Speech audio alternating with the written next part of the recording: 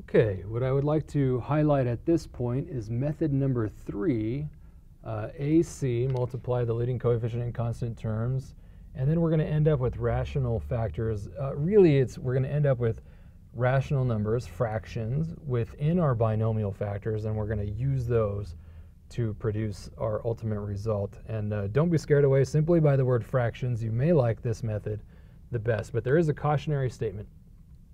You absolutely must factor the GCF first for this process to work. Um, you'll still get part of the answer if you don't, but you're going to miss that greatest common factor at the end. And that's really because I'm solving an equation. I'm doing something really sneaky. I've come up with a procedure based on solving an equation, and that procedure is derived from the rational zeros theorem. So please feel free to explore it more in depth with the rational zeros theorem. Nevertheless, I feel justified in doing this because uh, if a procedure works every time, what's wrong with that? I don't know. So if some of your instructors have a philosophical issue with this, then just do it behind their back and show them the right answer in the end. But let us now look at this example using what I'm calling method number three, and I'll explain it along the way. But the first step, taking my cautionary note, take out that greatest common factor.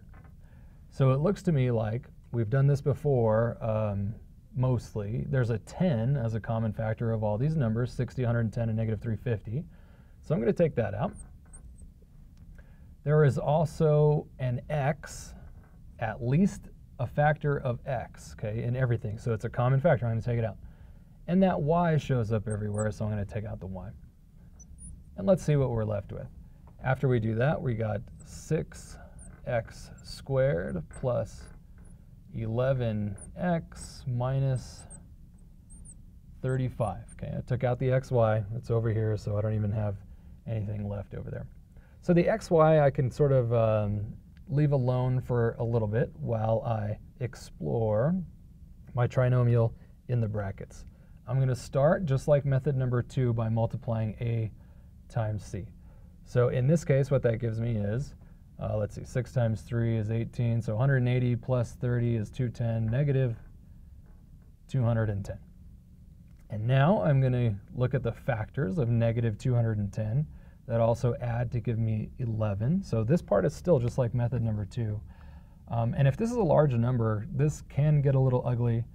Uh, whenever I have something with a 0 on the end, I always look at 10 times something. So let's try 10 times negative 21. That produces negative 11, so let's run that the other way around.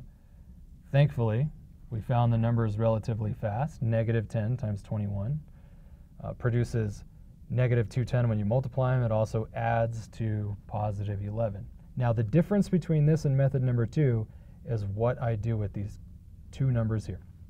What I do with them is produce fractions within two binomials. Okay, These are going to become the numerators. Numerators okay, to the following two fractions. I'm going to go straight to the solution almost by producing two binomials. x, I'm going to use this as my numerator, minus 10, the minus because of the negative, over the denominator, it turns out, is always going to be the leading coefficient, 6. Okay, The denominator is always the leading coefficient in parentheses. Trust me, this is going somewhere. The next one looks like x plus 21 over, again, that leading coefficient. That's the same in both cases. Also notice that I didn't put any numbers in front of the x's. I just left them as x and x. Okay. So what that means is this is not, in fact, equal to my trinomial here. But it's getting there, and after I finish the procedure, it will be. So that's why I use an arrow here instead of an equal sign uh, for 1. So that's the first step. Use these as numerators. The denominator is always the leading coefficient. The next step is to reduce. You've created the fractions, now reduce the fractions, if possible. So I can reduce both of those by 2. This gives me a 5 and a 3. I can reduce these guys by 3, so that gives me x plus 7 over 2. Now the last step where it turns out that this is in fact equal to this trinomial here. Um, I'm going to use an arrow again just because with respect uh, to my greatest common factor. The last step is to drag these denominators up to the front of these x's. And it totally seems like a trick. I understand that. Um, again, I'm solving an equation. I'm using the rational zeros theorem. This procedure always works. Pull that guy up, and this gives me 3x minus 5. Pull this denominator up in front of the x, gives me 2x. And then just leave the numerator as your other number. And indeed, 3x minus 5 times 2x plus 7 produces 6x squared plus 11x minus 35. So in the end, I can say this is all equal to maintain my greatest common factor, multiply by the other two factors remaining, 3x minus 5 times 2x plus 7.